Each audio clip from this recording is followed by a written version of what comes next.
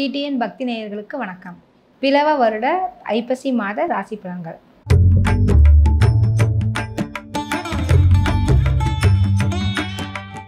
துலாம் ராசிக்காரங்களுக்கு ஐப்பசி மாத ராசி பலன் எப்படி இருக்குன்னு பார்க்கலாங்க.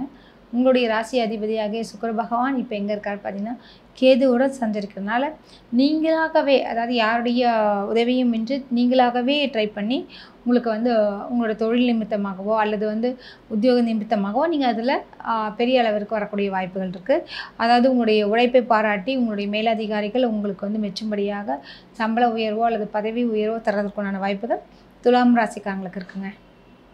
அடுத்தது பார்த்தீங்கன்னு வச்சுங்களேன் உங்களுடைய ராசிக்கு ராசியிலேயே சூரிய பகவான் செஞ்சுருக்கனால என்ன ஆகும்னு பார்த்தீங்கன்னா உங்களுக்கு வந்து இந்த கால்சியம் டெஃபிஷியன்சி வரதுக்கு வாய்ப்பு இருக்குது மூட்டு வலி எலும்பு சம்மந்தப்பட்ட பிரச்சனைகள் அதாவது பல் சம்மந்தப்பட்ட தொந்தரவு அப்புறம் வந்து இந்த மாதிரி தொந்தரவுகள்லாம் வரதுக்கு வாய்ப்பு இருக்குது ப்ளஸ் வந்து உங்கள் தனாதிபதியாகிய துலாம் ராசிக்கு தனாதிபதியார் பார்த்திங்கன்னா பார்த்தீங்கன்னா உங்களுக்கு செவ்வாய் அதாவது முருகனுடைய அதிபதியாகிய செவ்வாய் பகவான் தாங்க. ஸோ உங்களுக்கு வீடு வாகனம் சம்மந்தப்பட்ட விஷயங்கள்லாம் இப்போ எப்படி இருக்குன்னு பார்த்தீங்கன்னா அதில் அதில் இன்வெஸ்ட் பண்ணாதீங்கன்றது தான் என்னோட வேண்டுகோள். தேவையில்லாமல் இப்போ ஒரு வீடு கிடச்சிருக்கு நம்ம போய் பண்ணலாம் வீடு கட்டலாம் அப்படின்றது இந்த மாதத்தில் வந்து நீங்கள் தவிர்த்து கொள்வது மிகவும் சிறப்பு. என்ன ஏன்னா இது தேவையில்லாமல் நீங்கள் இதை மாட்டிப்பாங்கன்னு வாங்கல வில்லங்கம் இருக்கக்கூடிய பொருளை இடத்த போய் வாங்கிடுவீங்க. அல்லது வந்து உங்களோட வாகனம் வந்து ஏதாவது இப்போ வாங்கினீங்கன்னா ஏதாவது சின்ன சின்ன வாகன விபத்து சின்ன சிறு விபத்துகளை ஏற்படுத்துறதுக்குண்டான வாய்ப்புகளும் அதிகமாகவே இருக்குது ஸோ இந்த இதெல்லாம் முன்னெச்சரிக்கையாக நீங்கள் கவனத்தில் கொண்டு நீங்கள் செயல்படும் பொழுது நிச்சயமாக இந்த துலாம் ராசிக்காரங்களுக்கு பிரச்சனைகள்லேருந்து நீங்கக்கூடிய வழி உண்டுங்க. அடுத்தது உங்களுடைய மூன்றாவது ஸ்தானம் என்று சொல்லக்கூடிய இடத்துல யார் பார்த்தீங்கன்னா அதிபதி யாருன்னா குரு பகவான் அவங்களும் இப்போ நாலாம் இடத்துல போயிருக்காரு. ஸோ வந்து உங்களுடைய சகோதர சகோதரிகளால் சிறு சிறு தொந்தரவுகள் வர வரத்தான் செய்யும். ஸோ அவங்களையும் நீங்கள் எதிர்கொள்ளுங்கள் கூடுமான வரை வந்து இந்த வாக்கு வாதத்தை வந்து நம்ம கொஞ்சம் தவிர்ப்பது மிகவும் சிறப்புங்க. அடுத்தது உங்களுக்கு நான்காம் இடத்துல பார்த்தீங்கன்னா சனி பகவான் ஆட்சி பெற்று இருக்கிறனால வண்டி வாகன விஷயங்களில் ரொம்ப எச்சரிக்கையாகவே இருங்க. ஏன்னா தேவையில்லாமல் ப புது வண்டின்னு சொல்லிட்டு கொஞ்சம் யூஸ் பண்ணால் சொல்லி கொடுத்துருவாங்க.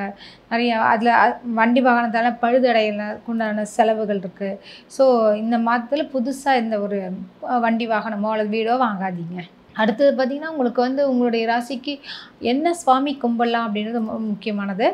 அப்படி பார்க்குறச்ச துலாம் ராசிக்காரங்களுக்கு பார்த்திங்கன்னா சுக்கர பகவானுடைய வீடை வந்து அதி என்ன சொல்லுவாங்க அதிபதியாக கொண்டவர்கள் நீங்கள் அப்படின்னும்போது முடிஞ்சால் வந்து ரொம்ப ஸ்ட்ரெஸ் பண்ணிடல முடிஞ்சால் நீங்கள் ஸ்ரீரங்கம் போயிட்டு வரலாம். இல்லைன்னா கஞ்சனூர் போயிட்டு வரலாம் கும்பகோணம் பக்கத்தில். அங்கெல்லாம் போயிட்டு வரும்போது உங்களுக்கு நிச்சயமாக நிறைய தடைப்பட்ட காரியங்கள்லாம் த தடை நீங்கி வெற்றி வாகை சூ சூடக்கூடிய அளவிற்கு இந்த மாதம் மிக சிறப்பாக இருக்குது அடுத்தது உங்களுக்கு பிடிச்ச நிறத்தை விட அதிர்ஷ்டம் தரக்கூடிய நிறத்தை வந்து நீங்கள் பயன்படுத்திங்கன்னா உங்களுக்கு நிறைய விஷயங்கள் வந்து சாதகமான சூழ்நிலையை அள்ளித்தருங்க. அதான் என்ன அதிர்ஷ்டம் தரக்கூடிய நிறம் என்று நீங்கள் கேட்குறதுக்கு புரியுறது. உங்களுடைய ராசிக்கு எது பெஸ்ட்டுன்னு பார்த்தீங்கன்னா வெள்ளை நிறமுங்க. வெள்ளை சிவப்பு. இந்த இரு கலரும் நீங்கள் பயன்படுத்தும் பொழுது உங்களுக்கு வந்து நிறைய அதிர்ஷ்டங்கள். அதாவது நம்ம சும்மா கேட்டு பேசிட்டு போகலாமேன்னு பார்த்தீங்கன்னா அது ஒர்க் அவுட் ஆகிடும் அந்த அளவிற்கு வந்து இந்த நிறமும் உங்களுக்கு பல வகையில் வந்து பயன் தருதுங்க.